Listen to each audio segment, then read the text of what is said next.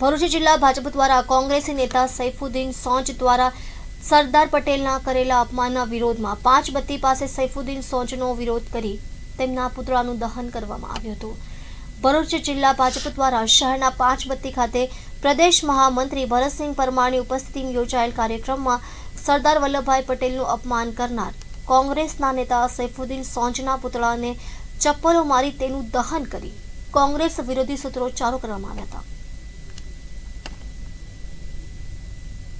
આપણા ગુજરાતનું ગૌરવ, હિન્દુસ્તાનનું ગૌરવ એવા લોખંડી પુરુષ સરદાર સાહેબ માટે કોંગ્રેસના નેતા સૈફુદ્દીન શેજે જે અપમાનિત ટિપ્પણી કરી છે, એની સામે ભારતીય જનતા પાર્ટી વિરોધ પ્રદર્શિત કરે છે.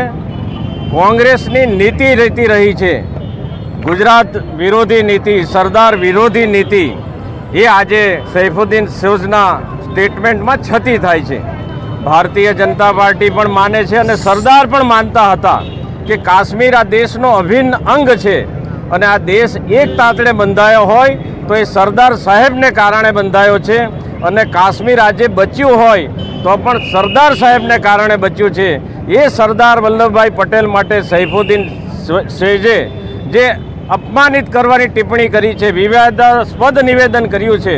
એની સામે ભારતીય જનતા પાર્ટી સમગ્ર દેશભરમાં વિરોધ કરે છે. શું ટિપ્પણી શું કરેલી છે અને કઈ રીતનું છે? સરદાર સાહેબ મેં આગળ પણ કીધું સમગ્ર દેશને એક તાતડે બાંધવા માગતા હતા. કાશ્મીર પણ આ દેશનો અભિન્ન અંગ છે એવું માનતા હતા અને એને માટે લડતા હતા.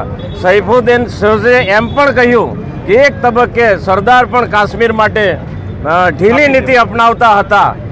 એટલા માટે સમગ્ર દેશભરમાં ભારતીય જનતા પાર્ટી આજે વિરોધ કરે છે કે લોખંડી પુરુષ સરદાર સાહેબ ફક્ત આખો દેશ નહીં, કાશ્મીર તો સાથે લેવા માગતા હતા, પણ પીઓકે પણ, પાકિસ્તાન ઓક્યુપાઈડ કાશ્મીર પણ જો નહેરુની ઢીલી નીતિ ન હોત, તો સરદાર સાહેબ એને પણ ભારત સાથે જોડી દેવા માગતા હતા.